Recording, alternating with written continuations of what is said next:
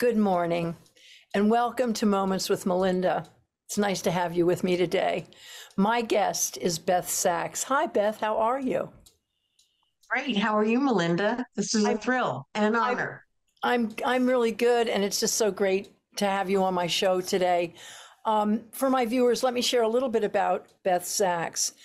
Beth has been in the field of sustainable energy, energy efficiency, and renewable energy for 40 years probably even longer than that. She co founded the Vermont Energy Investment Corporation, a mission driven nonprofit that services Efficiency Vermont. Right? Yes, that's right. And then many, many, many other things um, that you have done. So I want to share with our viewers that 40 years ago, I met you and your late husband, Blair. And it was when we were just starting Division for the Burlington waterfront and you all, and I think John Quinney might be, have been involved and maybe a few other Maybe. people. And you, you, you met with us, with Lisa and I, to talk about district heating for the waterfront. Uh, yes. And that was the first time that I met you, and you were that many, many years ago already, in, as a, as a young woman trying to save our planet. So that was when you and I first met. And then we served on boards together, and it's been a wonderful friendship over the years. Now, um, you co founded VEIC with your late husband, Blair. Um, Beth, can you talk a little bit about the early days and what inspired the two of you to take on this project? Well, it's it's interesting when Blair and I met. It was before the oil embargo of 1972 and energy was not an issue. It was cheap, too cheap to meter. That was the quote. And so I met Blair and a group of really interesting architects who were interested in trying to think about architecture that had low impact on the land. And so when I met Blair, he was building a one acre bubble, inflatable bubble that was the Antioch campus in Maryland. It was beautiful and it was just great. And um, right just in the middle of doing that, the oil embargo hit, and a lot of people who had been interested in that kind of architecture all swiveled to how can we make buildings that are more efficient and use less energy. Um, and from there, we just, you know, it's just been an interesting journey. Um, the reason we started VEIC um, in particular was my mother lived in a um, row house in Baltimore City. I don't know if you know what those look like, but mm-hmm. they're tall and skinny. So she lived in one that was four stories, um, pretty typical, and you know one or two rooms of per build per story. It was always hot on the top floor, unbearably hot, and it was always cold, really cold on the first floor. And there was she was trying to get some help to figure out what to do. And there was nowhere she could go where the where someone would say, "Let's figure out what you need." The only options she had were contractors who were trying to sell her some kind of heating system or cooling system or whatever. So Blair and I realized that what we needed, what people needed was an advocate. They needed someone who was interested in helping them very specifically figure out what they needed without being tied to any kind of equipment or even any kind of um, energy source, like electricity or gas or anything like that. And so that was really how we figured out that this was a service that was needed and started VEIC.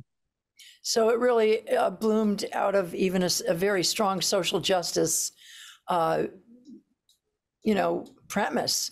Um, you were you were always you, you were you were part were you part of the 60s movement you were um, did you and and I and I believe that our generation, I mean Earth Day, all of it was starting to think about that. But but Beth, you in particularly have significantly influenced the global sustainability energy industry.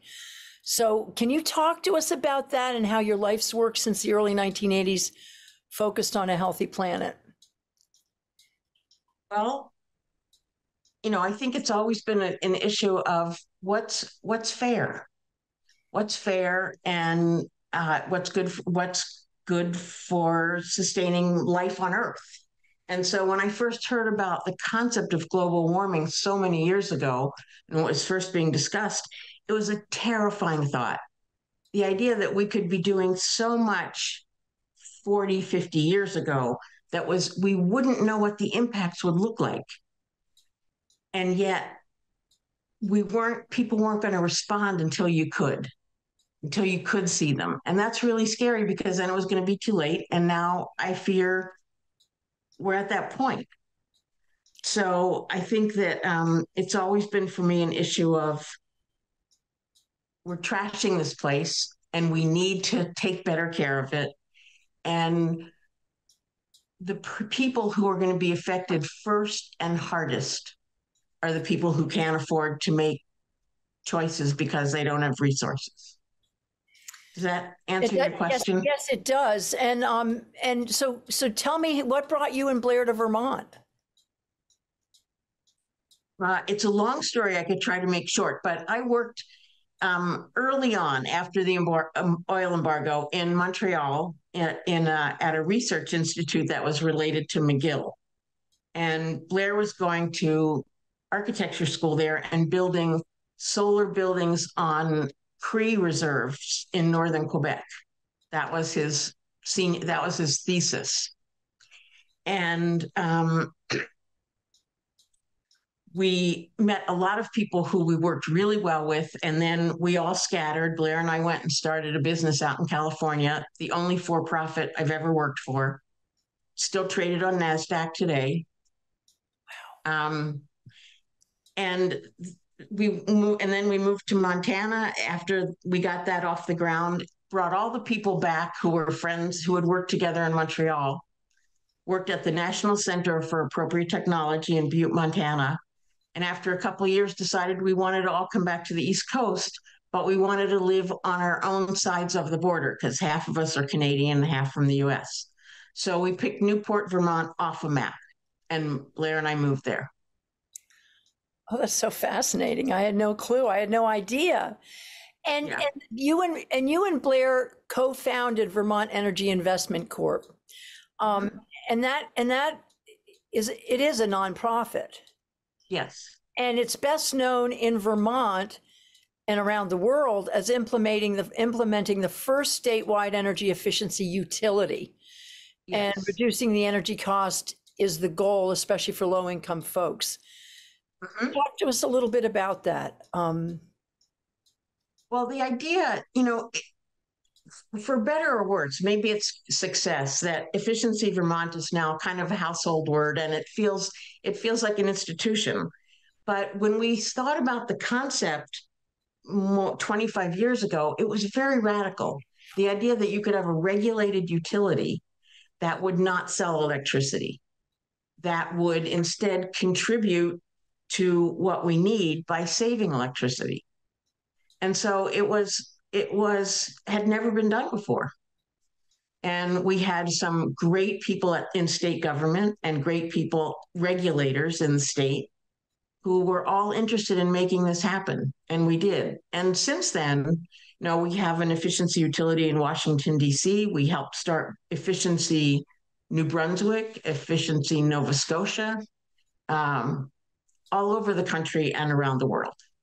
Well, mostly Canada and the United States. well it's extraordinary now and your focus has always been to reduce the environmental costs also Yes. of energy use not just the, what it costs for the the user of energy but also the environmental costs you merge Right. those two and certainly when you came to us to talk about district heating it was so such a novel i mean the thing about you and blair is your thinking was so forward thinking decades and decades and decades before you know al gore's you know incredible movie um, Yeah. you guys were and and it's I, I just find that extraordinary that what talk to me a little bit about your your childhood and what what is it about you growing up um, that made you be such a forward thinking leader um, not just in this in, in this industry but in your life Right. um, talk to us a little bit about that Well, um, I grew up in a in a Jewish ghetto until I was 10 years old. in Baltimore. And then my parents moved us to a place outside between Baltimore and Washington that was completely undeveloped and didn't like Jews. And so I was not treated very well. I was spit on and and things like that. And so I just got this, you know, incredible sense of I think fairness and what's fair and what's not. Um, and that really compelled me. And so in high school, um, I organ. It was before girls could wear pants to school. Remember that? Mm-hmm. And I organized a campaign all of my senior year, and we got suspended every month when I did a. We organized girls wearing pants, and then we all got sent home. Um, I have a really strong sense of of what's fair and what's not. I think, and I don't know. That probably came from my parents, and from being not treated very fair, very nicely when I moved at 10 years old. When you were a child. But what I was what, expelled from high school for profanity and insubordination, as a matter of fact. Well, that does not surprise me. But we don't need to go into the details. No, we don't, but, but bless your heart for being a, a champion of, of women and and so many other.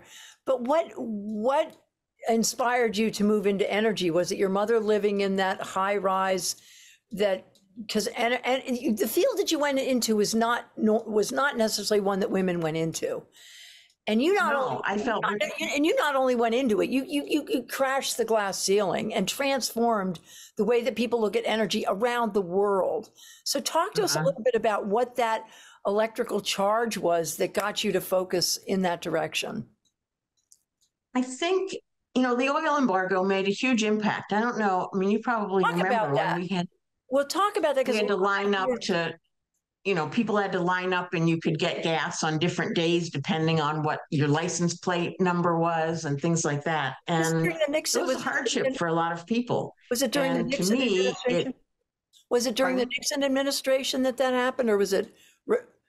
Yes. I can't remember. It was the Nixon, and so tell us a little bit about it. With it, it basically there was an oil embargo, and and because I can't, I don't remember that very well because I'm, but it went, and people were in lines for hours and hours trying to get gas for their vehicles, and that had a huge impact on you. And where were you when that happened? I was in Maryland, um, and the you know, it's interesting because the oil embargo in 72 was not about scarcity, it was about control.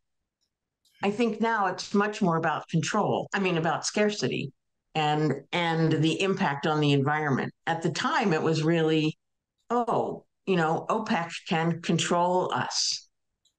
And so it was really, I think, in some ways more political in a way.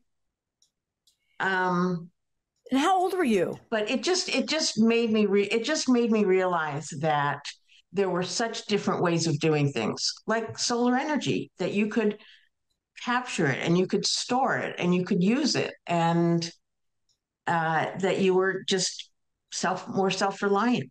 When did that first? When did solar power come into your brain? Because it certainly didn't uh, come into most of ours. For, I mean, were you a science? Were you? Were you? no, you, not at all. I I was, if anything, an art major but I made up, I went to seven colleges and made up a degree in what they call, we, we called environmental design.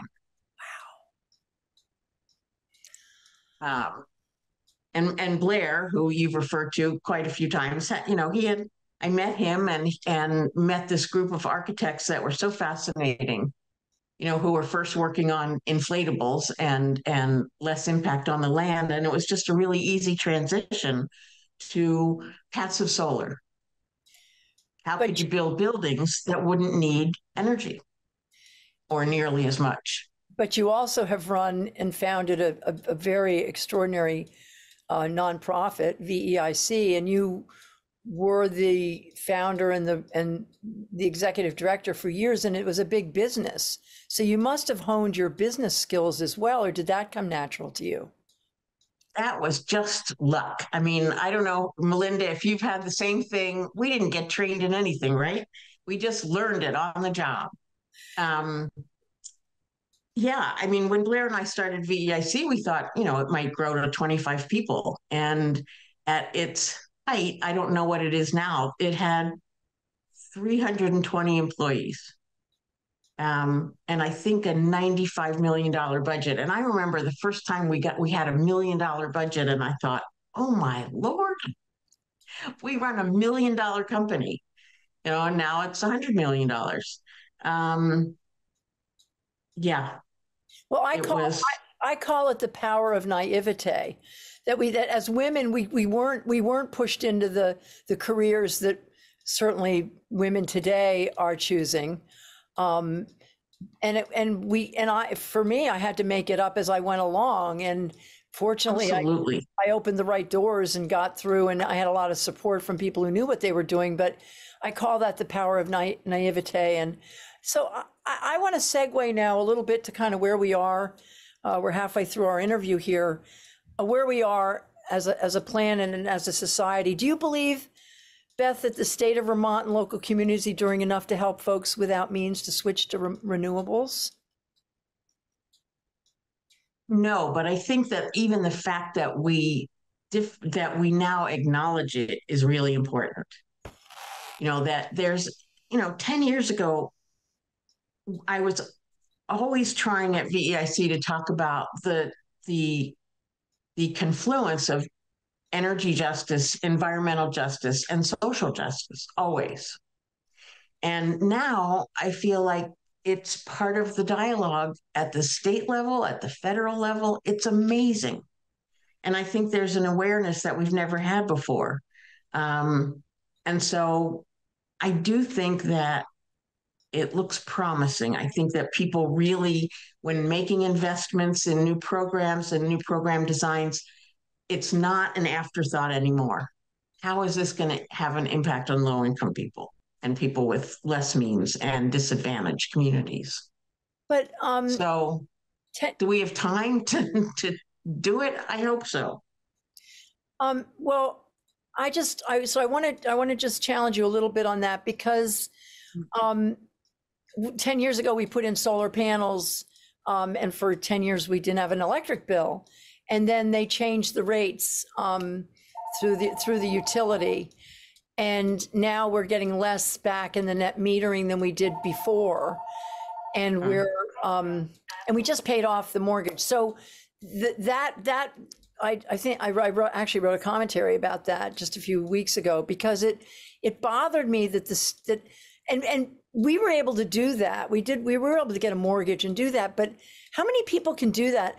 I, I remember, I remember meeting Bernie Sanders. You might have been there for a VBSR meeting. You might have been in that room when Bernie said, Mhm. Every, house in Vermont should have a solar, every, every house across the country should have a solar panel. And that was what, 15, 20 years ago. So I'm just mm-hmm. wondering if there's more that we can do as a state to, in, to, to help people who don't have the means to switch to renewables, to do it, to make it so that it's, it's not a, bur- a financial burden for them.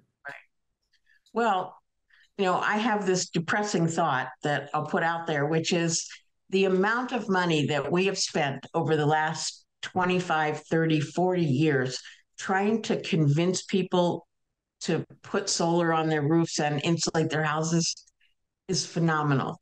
And I just, I would love to collect that information and and see if, what if we just spent it all on buying it and doing it? I mean, it was so much money. And I think we still are of that mindset that really that it's going to happen in the market. And personally, I don't think it's going to happen through the market. I think it's going to happen through policy and building codes and standards um, and mandates. I think it has to. I don't think we have time to convince people to do the right thing.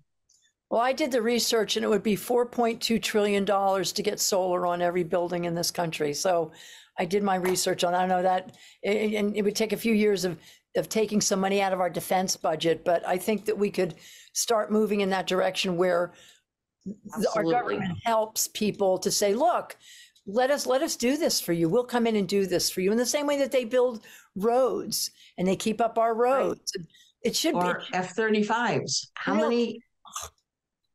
we won't even don't even need to go there i'm i but yes okay so i'm so you and i need to and I'm sure we're, we're going to stay right on this issue. Now, I want to move on to your being a strong advocate for women and women's issue. And I know, like me, we've talked about this. You must be deeply concerned about the current affairs around access to reproductive health care for women around the country. How are you feeling about the way things are going in our country for women on that? No, it's just it's just shocking to me. You and I are of a certain age and we had were we could possibly have gotten pregnant before Roe v. Wade. you know, and the idea that that uh, and that was terrifying back then. And we take it I don't take it for granted, but most people younger than me do and I and I'm glad they do. And they should, but this is I mean this is all just about politics. This is all just about having getting having the right people in office who who care about this. It's absolutely a travesty. It's hard to believe that it happened. And it's a way of holding women down. Um, now, I want to I want to recognize you that in 2016 you received the Leadership and Achievement Award from the Northeast Energy Efficiency Partnership. You were honored as an influential champion leader and innovator to unleash the power of energy efficiency as equitable, affordable, and sustainable energy resource. Um, talk to us about getting that award and how that felt for you. Certainly, it was so well deserved. Well, you know, it's funny. It was, I think it was called a Lifetime Achievement Award. And I think it was the same year that I got, I was honored to get the VBSR Terry Ehrich Award. That's right. I think they were in the same year. And I thought, I'm not done. you know, and when you that kind of thing comes to you, you think, you know, I don't, I didn't for a minute think I had uh I had peaked. But it was a great honor. They both were a great honor, both of them. And I do want to recognize the Terry Ehrich Award because I was there for that event and it was it, so well deserved. Now, you have been saying that all people need and deserve clean air, clean water, and the means to support themselves and the freedom to live their lives with dignity. With the situation in this country where democracy and human rights and freedoms are being challenged, how do we make strides amidst these times we are living in now? It's a big question. I think for me, a big part of answering that question personally was creating an institution such as VEIC that really uh, that really respected people, that created a workplace that was dignified and fair and equitable and not sexist and not homophobic and you know racist. And i think that to me creating those kinds of models and institutions is really important so when i go and talk to people and uh, meet, meet people who worked at veic there are hundreds of people who have come and gone from there and gone off to do other work in other places um, and are continuing to do really great work and do it in and one of the things that i'm hope i hope i have done is with the young staff who have started at veic started to create expectations that this is how we can work together and to me Um, that workplace is really important Because they take that with them. That becomes their yes their internal way of doing business. And then when they they they have a staff and they're managing, they say, I want to manage it the way I, I was it was at VEIC. Now you state a lot about efficiency, that efficiency comes first. So for my viewers um, who are who are watching, can you talk to us a little bit about um, how they can become engaged and take advantage of the services of at Efficiency Vermont? And, I, and to my viewers, I just want to also tell you that you should go to the website um, which is www.veic.org. Uh, there's so much information on that website. It's a great website. But how do my viewers get involved in the Efficiency Vermont program, Beth? Well, that's interesting because I've been away from that for quite a while now. And, but I think, I know that the customer support team is phenomenal. They don't, it's not a group of people who answer the phone and then find somebody to to give an answer to people. They have become experts themselves in so many areas and they're incredibly helpful. I mean, I think that they are just a real gem at VEIC. And so I really wouldn't hesitate to tell people to just call them and they have so much information and uh, interest, caring about find helping people find what they need, and if they don't, they'll find who does. So I just say, you know, you're not being. It's not a. It's it's not a gateway. It's a really great service. So veic.org, visit the website, make a call. Um, they will, it's and Efficiency Vermont, an efficiency Vermont. Um, and which it's I think is dot com. dot com, efficiency Vermont. I don't know why. Um, but it, but the- I've, I've used them, certainly we use them at the project and it's personal and it's, um, it's really valuable service. Um, so talk to us about what you're working on now, Beth. Come on, what, what's your, what's your next big illuminating project? Well, I'm working now on divestment. I think that getting uh, the banks and all of us out of supporting oil uh, is a really critical piece. It's something I feel like I can kind of get my hands around. I'm working with an organization called Third Act, which Bill McKibben started about three years ago. And it's seniors who have lots of knowledge and experience and more time than they have, and in many cases, more resources when they than when they were working. I mean, it's it's not just retired people, but mostly. And it has been just fantastic to meet this whole new group of people who really during their careers may never have even thought about energy and climate change and now are really engaged and are bringing skills as lawyers and teachers and artists and it's really exciting so I would say go look up Third Act Vermont. We won't turn you away if you're under 60, but uh, if you're interested, uh, it's great. We do, you know, we've done a lot of different kinds of actions. We're trying to pass a bill in the legislature to divest, to have the state, sorry, Oh, divest its pension funds from fossil fuels. And I'm personally working on making sure that people understand once they do cut up their credit cards to the four big banks that are mostly in, you know, that are promoting fuel fossil fuels, that they know where to go. So you cut up your credit card from Citibank, where do you go to do banking that that uh, matches your values? So that's one of the projects I'm working on. That's fascinating. Um, so Beth, we're coming to the end of our show. Where do you see the future of our species on a changing planet over the next couple of decades? You and I probably still have another 20 years left, but where do you see our species with the changing planet? Wow, that's a big question. I try to stay optimistic in spite of the fact that I think the changes that have happened to our climate are terrifying and threatening. And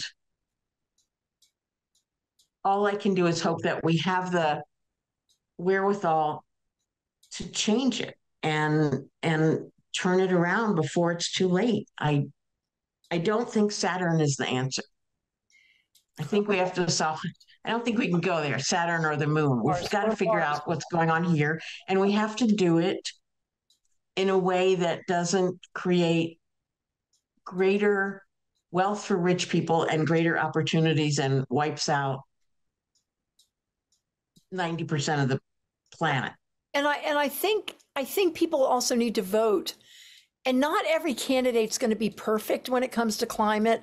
And I know a lot of environmentalists hold certain politicians' feet to the fire and are very critical. But at the end of the day, you've got to measure which candidate is really supporting climate change. It may not be perfect and it may not be as much as we feel we need, but we have to be careful that we don't elect people who actually say that climate change is not real. We're going to pull out of the Paris Accord. I mean, that's another thing. And I think environmentalists, there's a couple things that environmentalists need to focus a little bit on on uh, reproductive health too, because population is important. And I and I and I've certainly talked to Bill McKibben about that. And I think that that's a direction that they need to focus on, but also to, to, to be more gentle with politicians who maybe aren't perfect, but they're really where we need to go. And if we don't get behind them and support them, we could end up in a place which would be horrifically terrible for the planet and our species. So I think encouraging people to vote for the right candidate is really important, wouldn't you say? Absolutely. And I do a lot of electoral politics, trying to get people to vote, get them out to vote, and get them out to vote in a progressive manner. I mean, let's face it, it's not just vote.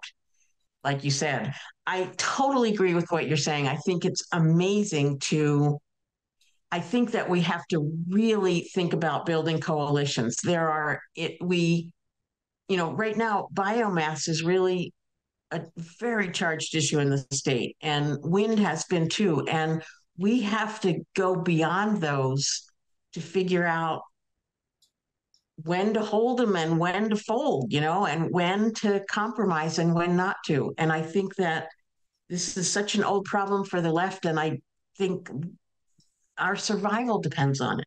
Here, here, I'm so with you on this, Beth. Um, so what words of wisdom would you give our younger generation? I know you have a son, a very accomplished son, and um, and what would you what would you offer our younger generations as they are growing up in a planet and in a society that will be exceedingly more challenging than certainly what we grew up with? I think be inclusive, listen to each other, um, respect each other, and don't shy away from from expressing what's important.